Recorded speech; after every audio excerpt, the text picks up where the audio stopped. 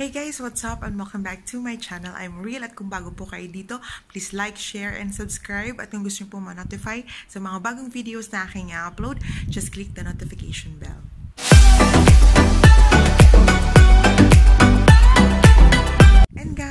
Guys, inannounce na po pala ni Ann Curtis sa kanyang IG na buntis na po siya. At the same time, si Erwan nag-post na din siya.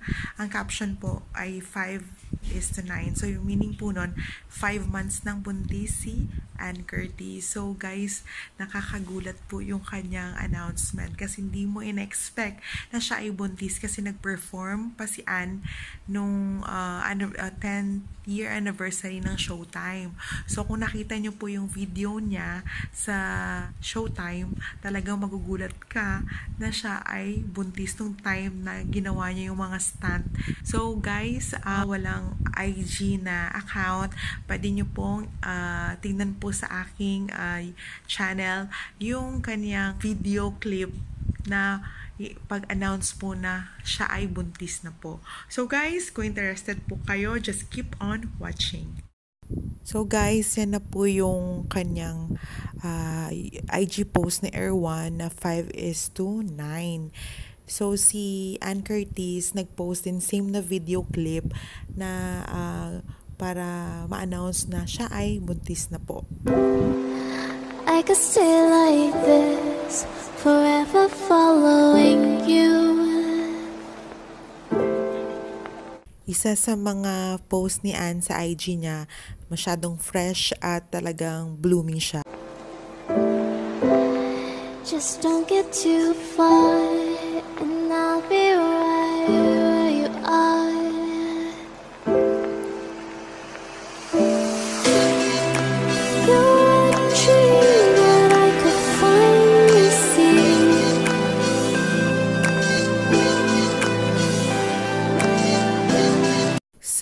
post na yan, mapapansin mo na yung damit niya medyo flowy na uh, red, dark para hindi mahalata yung kanyang malaking chan. I just want to always be, to always be. Napansin ko din yung mga damit na sinusuot niya is yung parang straight lang yung cut, basic, na parang hindi mahalatang uh, malaki na yung chan niya.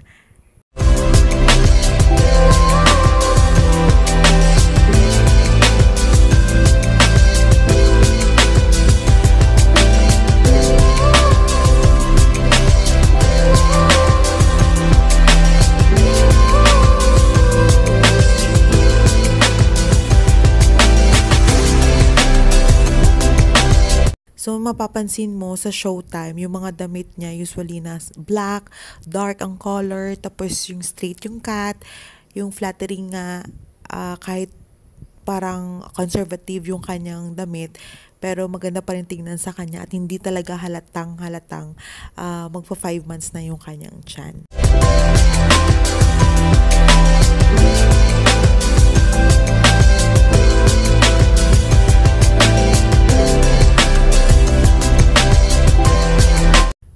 Yung caption ng IG post ni Anne is, I think you should know something. Another reason to love November. Sa mga nag-a-idol kay Anne Curtis, talagang tuwang-tuwa po talaga tayo sa kanyang uh, journey sa pagiging motherhood. And guys, sana po nag-enjoy po kayo sa video na ginawa ko. And don't forget to click like and share and subscribe. Thank you and God bless.